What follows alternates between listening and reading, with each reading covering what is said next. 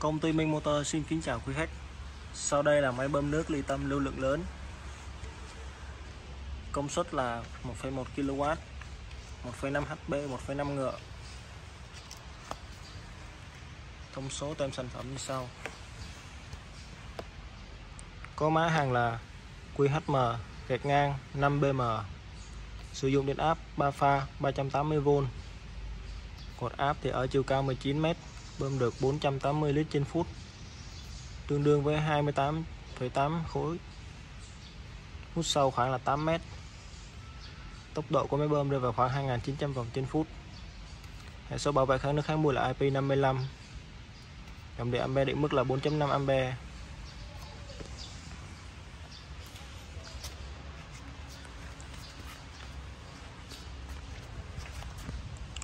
Đây là ống hút có đường kính là 59mm đây là ống xả có đường kính là 59mm tổng chiều cao khoảng là 260mm tổng chiều dài